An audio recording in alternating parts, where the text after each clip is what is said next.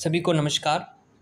त्यागपत्र पर प्रतीक्षा सूची के लिए राजस चौधरी और राजस्थान सरकार के नाम से एक याचिका, राजस्थान उच्च न्यायालय की जयपुर खंडपीठ में पाँच अगस्त 2017 को दायर की गई थी।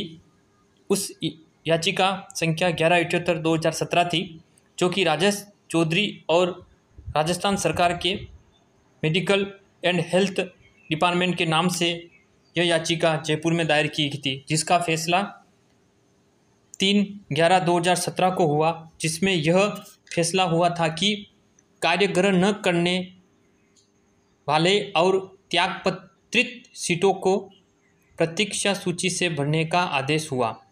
इसी याचिका के आधार पर वर्तमान में द्वितीय श्रेणी या वरिष्ठ अध्यापक भर्ती परीक्षा 2018 का उल्लेख करते हुए धोलाराम बनाम राजस्थान सरकार, जिसकी याचिका संख्या इकसठ उन्यासी दो हज़ार इक्कीस है, ये राजस्थान माननीय उच्च न्यायालय जोधपुर में याचिका दायर की गई थी। इसी के आधार पर 8 जुलाई 2021 को माननीय उच्च न्यायालय जोधपुर के न्यायमूर्ति राजेश मेहता ने यह, दिनेश मेहता ने यह आदेश दिया कि दो सप्ताह में राजेश चौधरी के आदेश की प्रमाणित प्रतिलिपि और प्रार्थना पत्र को राजस्थान सरकार निदेशक व आरपीएससी को तथा सचिव को पेश करना है, जिसमें दो महीने में आपके प्रार्थना पत्र पर नियमानुसार कार्रवाई करते हुए इस याचिका को निस्तारित करने के आदेश जारी किए हैं। इसके अलावा त्यागपत्रित या कार्यग्रह न करने वाले ये नियम मध्य प्रदेश, दिल्ली, हरियाणा, छत्तीसगढ़ व अन्य राज्यों में भी लागू है। अगर राज्य सरकार यह नियम अपने यहाँ लागू करती है तो हज़ारों युवाओं को खुशियों की सौगात मिलेगी। इसके लिए कई युवा नेता भी सराहनीय प्रयास कर रहे हैं।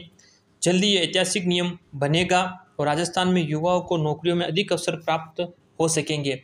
वर्तमान में राजस्थान सरकार के सभी विधायक महोदय भी इस त्यागपत्रित तथा कार्यग्रहण न करने वाले इस नियम को बनाने के लिए सकारात्मक रुख उनका है तथा कुछ युवा नेता भी इसके लिए प्रयासरत हैं तथा जो भी सचिवालय स्तर के जो भी कर्मचारी हैं, जो भी अधिकारी गण हैं, वे भी इस नियम के लिए सकारात्मक पक्ष में है। माननीय मुख्यमंत्री महोदय ने भी इसके लिए कमेटी का गठन किया है। वो भी सकारात्मक पक्ष की ओर है। अतः और माननीय उच्च न्यायालय के द्वारा भी इस निर्णय को द्वितीय श्रेणी भर्ती परीक्षा के लिए स्पेशल रूप से लागू होने के लिए ये निर्देश प्रदान कर दिए गए हैं। साथ ही में अभी एक याचिका संख्या जो कनिष्ठ लिपिक की है, वह भी माननीय राजस्थान उच्च न्यायालय में विचाराधीन है। उसके संदर्भ में भी अगर मुझे कोई जानकारी मिलेगी, अभी उसका आज जो सुनवाई हुई थी, उसके संदर्भ में कोई सूचना अभी तक प्राप्त नहीं हुई है। जैसे उसकी भी कोई सूचना मिलेगी तो आपको उपलब्ध करवा दी जाएगी।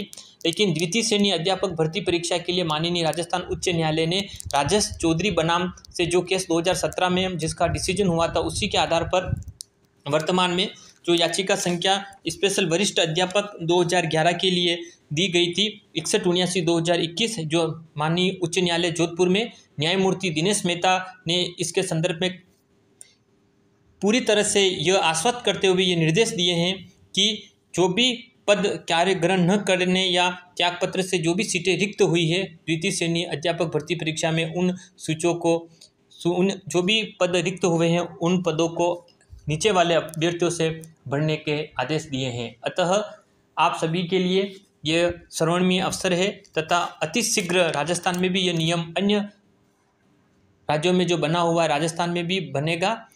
अन्य कोई भी सूचना होगी तो इस चैनल के माध्यम से आपको अवगत करा दिया जाएगा। धन्यवाद।